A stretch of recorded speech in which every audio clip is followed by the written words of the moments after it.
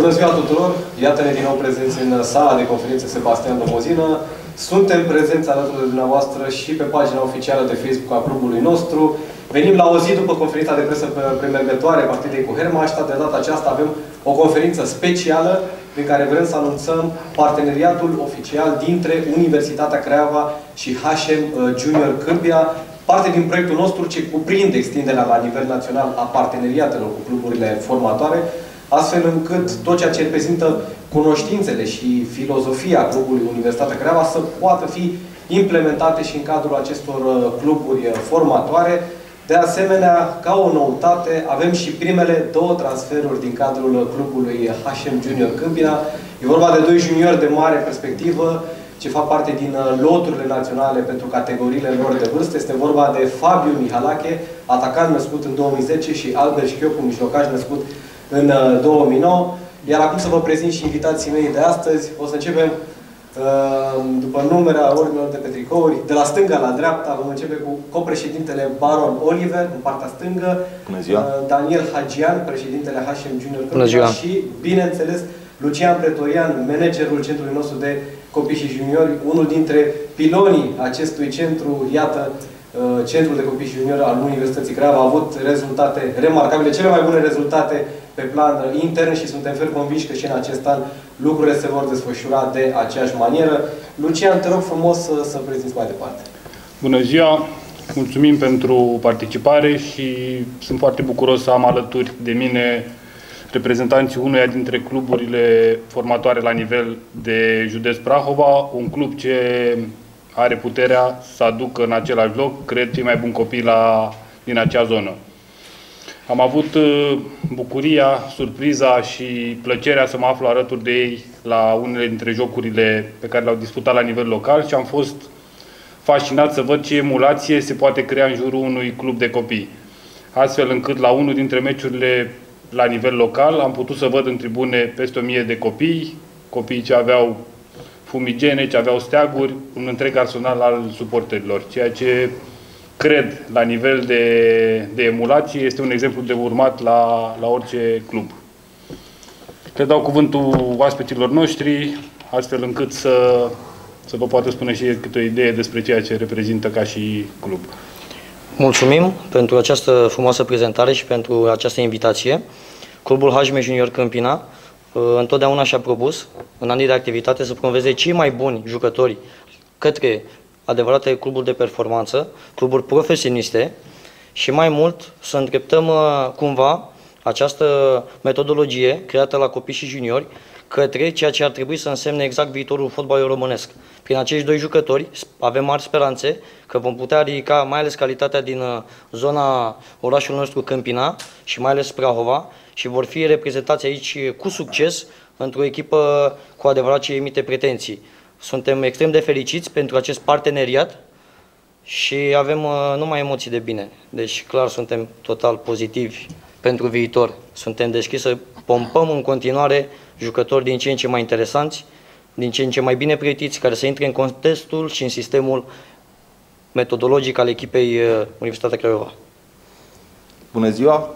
În plus, față de ce a spus colegul meu, vreau să vă mulțumesc că sunteți aici, alături de noi și, în primul rând, vreau să-i mulțumesc domnului Pretorian pentru în felul în care ne-a ne tratat de la, prima, de la primul contact care l-am avut până în momentul în care am ajuns aici. Am fost tratați exact ca uh, viitor parteneri unui club mare cum este Craiova. Mulțumesc.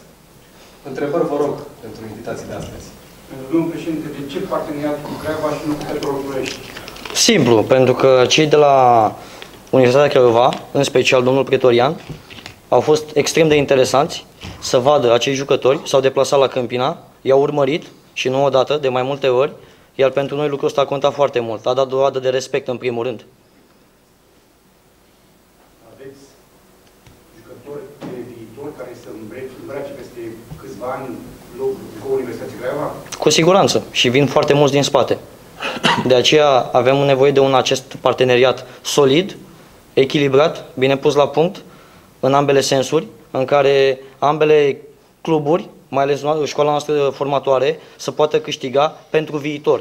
Nu pentru prezent, dar pentru viitor avem un proiect lung de durată în care să putem să propulsăm cât mai mulți tineri jucători către nivel național, implicit prin această mare echipă Universitatea Craiova. Spuneți-ne acum două nume de jucători pe care să le urmărim și să vedem dacă se confirmă ceea ce spuneți. Sunt foarte multe nume de jucători. N-aș putea să zic doar două nume. Mai multe. Sunt foarte, foarte multe nume de jucători, dar o să încep cu cele două pe care astăzi o să le prezentăm. Țineți minte aceste nume? Fabio Mihalache și Șchiopo Albert. Doi jucători ce vor face istorie la Craiova. Sunt și obligații de partea Universității Craiova? La ce vă referiți? Nu știu, să-i folosiți jucătorii, să... Nu știu. Aici îmi permit să vă răspund eu la întrebarea asta. Obligații derivă din ambele părți. Fiind un parteneriat, întotdeauna este o situație win-win.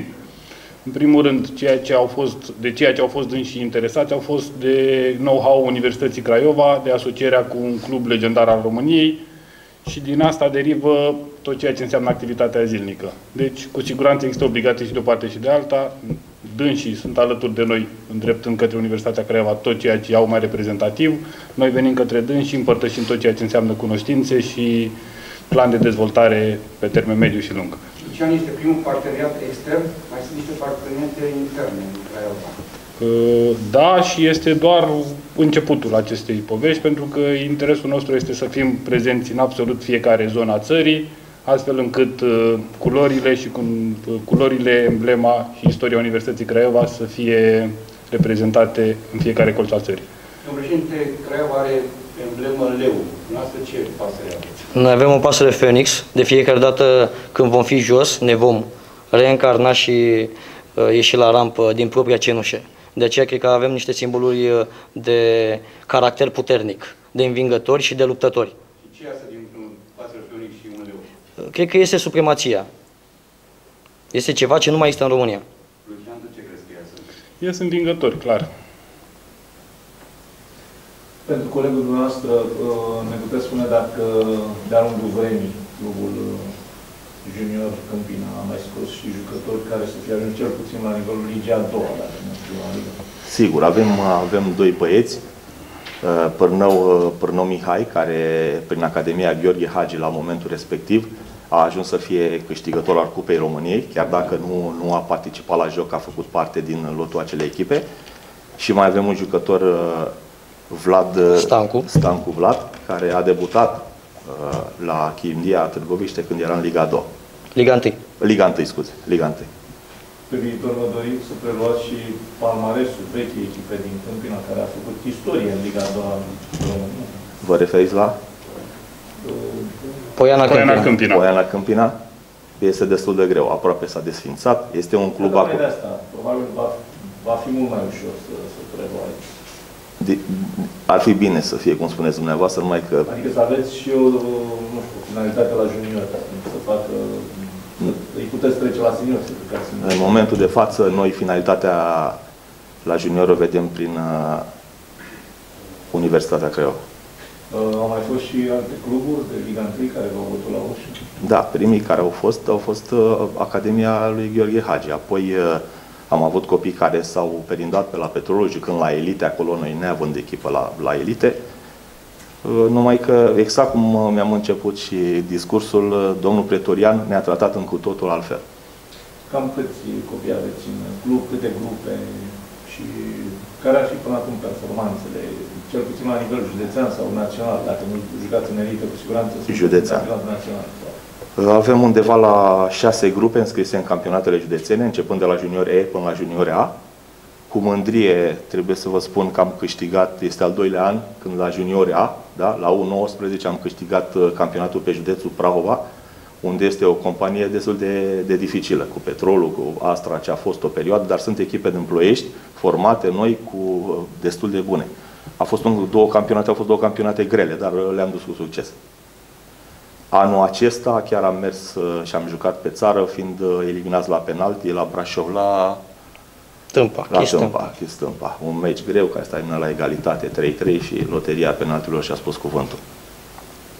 Lucian, explică-ne ce se va întâmpla cu cei doi copii sau copii uh, veniți din alte zone ale Craiovei. Aici, nu știu, îi veți înscrie la școală, explică-ne traseul copii de 12-13 ani care vin din alt județ evoluează la 11. Copiii aduși din afara Craiovei sunt integrați în ceea ce înseamnă programul nostru, care cuprinde, pe de-o parte, dezvoltarea la nivel, uh, să zicem, intelectual, uh, înscriși în cadrul unor școli din orașul nostru, pe de-o parte și pe partea cealaltă uh, dezvoltarea lor din punct de vedere fotbalistic. Sunt, înscriși, sunt angrenați în uh, grupele de elită ale clubului nostru, ce fac parte din campionatele naționale Liga Elitelor Under 14, Under 15 și în alte cazuri mai mari. Doi dintre cei mai buni jucători ai Universității Craiova din, să zicem, ultimii 10 ani, care au îmbrăcat tricoul primei echipe, sunt oarecum din zona primei. Mă refer aici la Ivan din Moreni, la Mihaila din, tot din Dâmbovița, dar în apropiere de acolo, Pinta. Să sperăm că le aducem ADN-ul și îl introducem în cei doi și în cei care urmează să mai vină, așa că e de bine.